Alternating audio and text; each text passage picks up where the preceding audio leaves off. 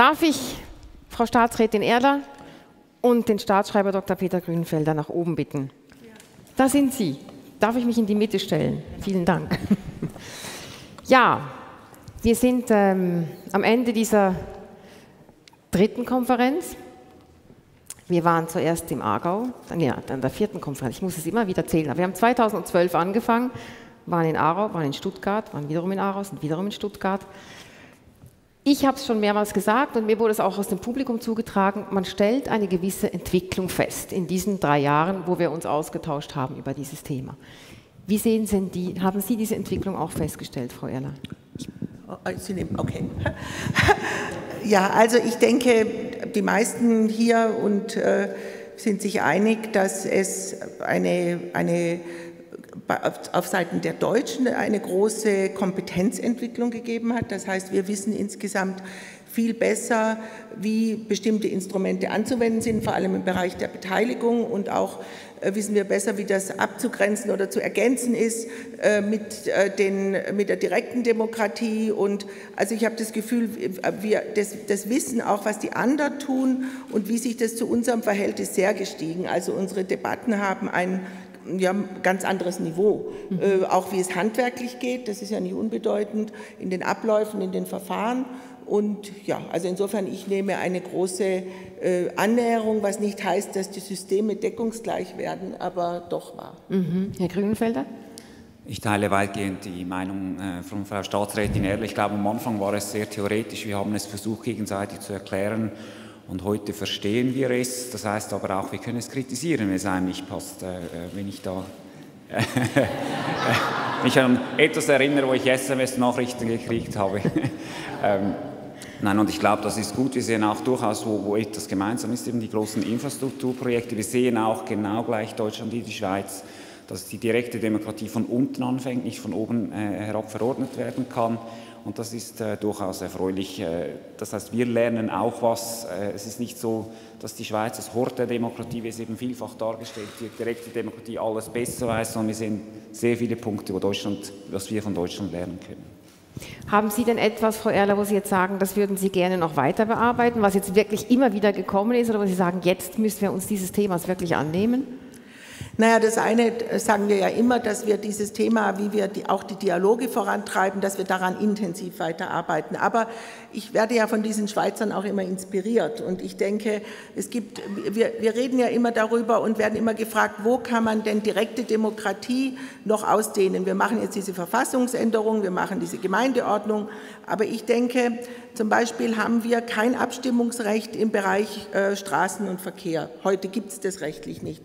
Das wäre aber wahrscheinlich, also ich, ich spinne jetzt mal auf Landesebene, obwohl es dann äh, gewisse Bundesgesetze überschreiten würde, aber es wäre nicht verboten, das zu thematisieren, ob man den Generalverkehrswegeplan oder so mal abstimmen lässt. Das, wenn man sowas sich vornimmt, geht das in zehn Jahren. Aber das wäre eine Ebene, also mein Wunsch zu sagen, wo kann man sinnvollerweise noch direkte Demokratie ausdehnen. Auch die Haushaltsfrage.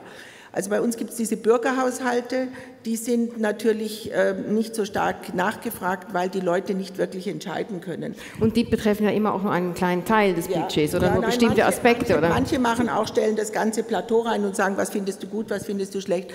Also ich denke schon langfristig, dass es auf kommunaler Ebene und äh, sehr interessant wäre, mal wirklich echte äh, sowas wie Finanzreferenten zu machen und Haushalte zur Abstimmung zu bringen. Auch das ein langjähriges Projekt. Man sagt immer, das ist das Königsrecht der Parlamente. Also ich könnte mir vorstellen, dass das ein Bereich ist, den man stärker anpacken könnte. Aber da haben natürlich viele Akteure große Bedenken. Ich halte es aber demokratietheoretisch für relativ unproblematisch und auch ungefährlich, eher heilsam. Mhm. Ja. Und Sie hätten dann eigentlich all diese Dilemmata, von denen Herrn, Herr Diet heute Morgen gesprochen hat, müssten Sie dann auch aushalten. Ja, aber wir halten ja sowieso ständig Dilemmata aus. Und, und das, ist, das ist eine Ebene, wo dann tatsächlich, ich glaube, Akzeptanz äh, geholt werden kann, auch gewisse Korrekturen, ohne dass man die Gefahr läuft, dass jetzt total Systeme aus den Fugen geraten. Es ist ja eigentlich ein Korrektiv. Und äh, das, glaube ich, sehr befriedigend ist für die Bevölkerung. Mhm. Also das äh, finde ich schon sehr spannend. Mhm, spannend. Herr Grünfelder, ist ja, wir haben mehr direkte Demokratie. Gibt es denn etwas, wo wir von der Schweiz sagen müssen, da müssen wir eigentlich denen was abschauen? Ich glaube, die, wenn ich es vereinfacht sagen darf, die, in der Schweiz ist das Volk der Impulsgeber. Mit Volksabstimmungen, es kann alles vorgelegt werden, es kann über alles oder fast alles entscheiden. Es kann aber auch wieder korrigiert werden. Es ist ein evolutiver Prozess. Also wenn mal was schief läuft, in Anführungsschlusszeichen, kann man nach ein paar Jahren allenfalls eine angepasste Vorlage noch was bringen. In Deutschland hat das Volk eher die und das ist Deutschland wirklich besser, diese, diese Pulsnehmerrolle, das heißt diese Beteiligungsverfahren. Wenn unsere Gemeindepräsidenten, Gemeindeoberhäupter sagen, ich gehe zur Gemeindeversammlung hin und dann schaue ich, was passiert, äh, ist es meines Erachtens äh, fast ein bisschen zu spät, wenn man derart viel Zeit und Energie, äh, Engagement auf Stufe Verwaltung, sind alles Steuergelder, die dafür investiert werden, gute, teure Pläne macht, äh, dass sich den Kopf zerbricht auf, auf Expertenebene, auf der Exekutivebene und dann sagt das Volk Nein an einer Abstimmung oder eben auch an einer Gemeindeversammlung. Und diese Beteiligungsverfahren, eben diese Pulsnehmerrolle, äh, und nicht Impulsgeber alleine. Ich glaube, da ist Deutschland einiges voraus und das müssen wir genauer auch anschauen. Und genauer anschauen heißt stärker institutionalisieren? Ich bin auch der Meinung, wenn wir es machen, wieder von unten nach oben, äh, wobei für mich ist auch das die höchste Ebene eigentlich die kommunale Ebene, die ist am nächsten am Volk, aber es müsste mal auf äh, Gemeinden, interessiert sind, äh, und es sind zahlreiche Gemeinden hier, mal detailliert schauen, wollen wir das mal ausprobieren. Die Schweiz lebt ja davon, dass sie immer was Neues wieder ausprobiert. Das ist auch die Möglichkeit des Föderalismus, viele Kompetenzen sind nach unten delegiert und nicht gleich legiferieren. Aber wenn wir komplexe Projekte in Gemeinden haben, die eben millionenschwere äh, Investitionen auslösen würden, äh, wäre es vielleicht durchaus sinnvoll, das mal auszuprobieren, ob es machbar ist und ob man das Volk dann besser einbinden kann. Ja, aber das mit dem Ausprobieren ist ja ein bisschen heikel. Sie können ja zum Beispiel nicht sagen, jetzt geben wir dieses Jahr den Staatshaushalt mal der, äh, einer Abstimmung und dann ist schief gegangen, nehmen wir wieder zurück. Naja, die Schweizer haben da auch ein Ventil und das würde man jetzt sicher nicht über Nacht machen, sondern als Prozess. Aber nochmal zu dieser Beteiligung. Also natürlich kopiert man nichts direkt, aber ich finde, wir haben Kommunen, die haben sehr gute äh, Strukturen für Beteiligungsverfahren, auch Leitbilder und Prozesse und auch auf Landesebene. Also ich glaube, das ist ein Bereich, wo äh, äh Sie tatsächlich auch mal schauen könnten, was sich davon äh, vielleicht doch adaptieren ließe, weil das ist ja bei uns jetzt sehr viel, nicht nur in Baden-Württemberg, da auch Energie hineingeflossen, diese Sachen zu vertiefen. Ja. Jetzt haben wir ja zwei Systeme. Wir haben jetzt viel über diese Systeme gesprochen und hinter, hinter, den Systemen steckt ja auch jeweils eine politische Kultur. Man lernt ja auch mit dem System, beziehungsweise das System passt sich der politischen Kultur an und umgekehrt. Wo sehen Sie denn dennoch so die Kernähnlichkeiten dieser beiden Länder und Kulturen? Die Ähnlichkeiten. Mhm. Keine. Doch, doch, doch. Nein, wir haben unendlich viele, unendlich viele äh, Ähnlichkeiten. Äh, es ist einfach die Art und Weise, ich komme auf die Differenz zu sprechen, Entschuldigung. Die Differenz ist die, die Art und Weise der Bürgermitsprache. Äh, wir haben Vertrauen in das Volk, auch wenn es mal anders entscheidet, löst auch bei uns Ärger aus. Und aufgrund der Politkultur und der Geschichte, ich verstehe das absolut, ich bin selber halb Österreicher, ich würde in Deutschland mit dieser Geschichte, und Sie sind auch ein viel größeres Land als wir, auch wahrscheinlich nicht alles dem Volk vorlegen. Und bei uns kann alles vorgelegt werden, es kann auch wieder korrigiert werden, es führt nicht zu Rücktritten, das gehört zu unserem Spiel. Es löst Ärger aus, es löst Frustrationen aus, aber auch das gehört zur direkten Demokratie ähm, und damit muss man umgehen. Aber sonst haben wir durchaus sehr viel Ähnliches, auch dieses, dieser Willen, äh, zu schauen, wie man die Bevölkerung einbeziehen kann, wie man der Bevölkerung zuhören kann, sei es eben mit Beteiligungsverfahren, sei es bei uns, äh, dass man quasi alles am Schluss vorlegt, aber durchaus den Willen auf das Volk zugehen und nicht nur einfach von oben herab zu bestimmen. Das, äh, das sieht man wirklich und das spürt man bei Frau Erler, aber auch beim Ministerpräsidenten und den hier anwesenden deutschen Kolleginnen und Kollegen. Frau Erler? Ja, da kann ich jetzt eigentlich nicht so viel Neues dazu sagen. Also ich denke, die Sorge, die, die, also die Ähnlichkeiten, wenn sie über die Grenze gehen, die sind einfach äh, frappierend, jetzt auch gerade noch mal zwischen Südbaden-Württemberg äh, und der Schweiz, äh, kulturell äh, sehr verwandt.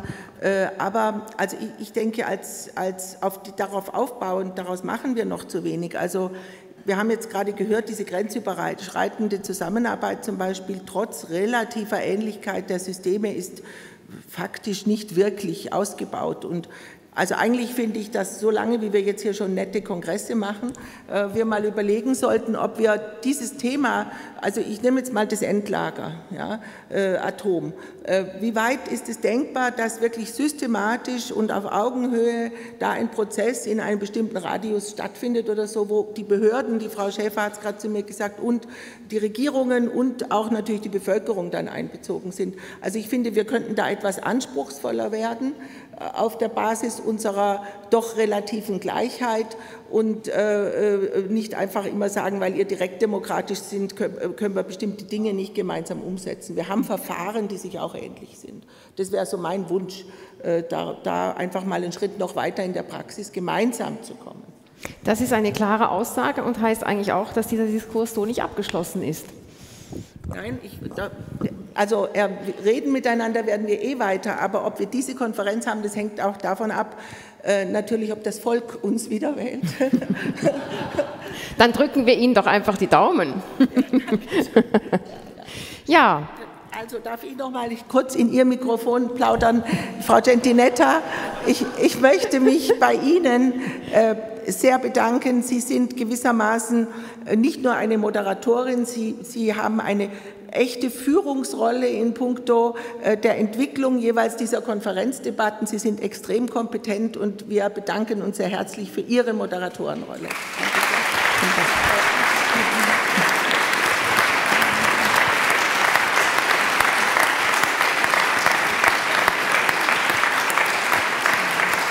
Vielen Dank. Vielen Dank. Ja, damit mache ich jetzt wirklich Schluss. Ich möchte einfach nochmal allen Referentinnen und Referenten ganz herzlich danken, die gestern und heute hier oben waren, allen, die mit mir hier diskutiert haben, wenn auch nur kurz, aber nicht minder heftig. Ich möchte vor allem auch Ihnen danken, dem Publikum. Sie haben gewaltig mitgemacht. Sie konnten vor allem an den Workshops mitmachen. Hier oben ist es immer ein bisschen schwieriger, aber wir haben ja auch ganz interessante Themen, die wir immer auch so mitnehmen wollen. Im Namen der Tagungsverantwortlichen, eben des Staatsministeriums Stuttgart und der Staatskanzlei Aargau, möchte ich auch allen danken, die vor und während dieser Konferenz für alles da waren. Und da geht es ja immer von den ersten Überlegungen bis zum letztlich ganz perfekten Funktionieren, sind da ganz viele Hände und Köpfe beteiligt. Auch für die, auch wenn es jetzt nicht hier physisch alle anwesend sind, einen großen Applaus bitte. Da hinten stehen sie zum Teil.